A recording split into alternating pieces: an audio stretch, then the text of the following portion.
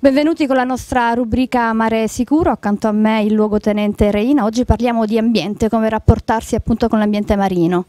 Sì, buongiorno a tutti, benvenuti al consueto appuntamento con la Guardia Costiera. Eh, oggi parleremo di salvaguardia dell'ambiente marino e delle coste. E la Guardia Costiera eh, da sola purtroppo non riesce a, a, a contrastare le, gli innumerevoli atti diciamo, di illeciti che, che, che, vengono perpetrati a danno del, de, de, de, del, mare, della costa e del demanio in genere.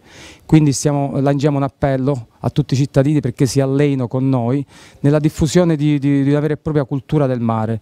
Cioè, I cittadini devono, eh, ormai non è più il tempo di rimandare, prendere coscienza ambientale per fare in modo di, che questo inestimabile patrimonio naturale che abbiamo venga preservato per le generazioni future.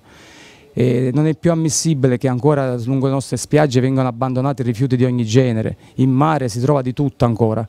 Quindi facciamo un appello a tutti, di portisti, bagnanti che ora si apprestano a frequentare le nostre meravigliose spiagge, a collaborare con noi e quindi eh, segnalando alla Capitaneria eventuali eh, illeciti, eventuali abusi eh, di, immediatamente tramite il famoso numero 1530 quindi facilmente accessibile e quindi diventa un imperativo categorico difendere le nostre spiagge, difendere il nostro mare, le nostre calette, i nostri fondali.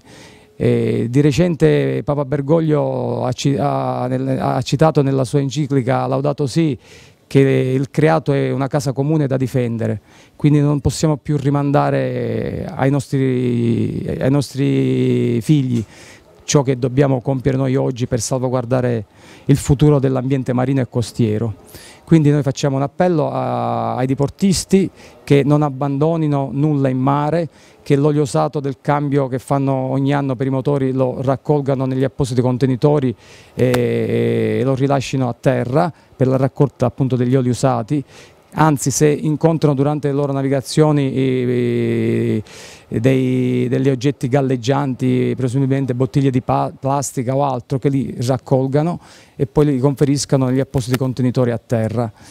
Ai, ai, bagnanti che si apprestano a frequentare le nostre spiagge eh, consigliamo di non abbandonare nulla in spiaggia, soprattutto si trova di tutto ancora, bicchieri, piatti di plastica, bottiglie, mozziconi di sigarette, quindi dobbiamo imparare a lasciare spiaggia soltanto le nostre impronte.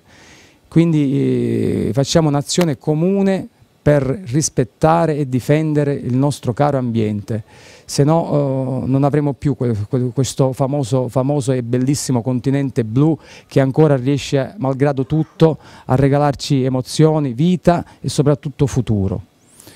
E colgo l'occasione per ricordare che il 20 luglio è l'anniversario del 150 anno della fondazione del Corpo delle Capitanerie di Porto, quindi per noi è un giorno particolare. Ricordo a tutti il famoso 1530 per l'emergenza in mare e la Guardia Costiera di Mazzara del Vallo augura buone vacanze a tutti. Grazie. Grazie, bene, rimandiamo l'appuntamento a venerdì prossimo con la rubrica Mare Sicuro.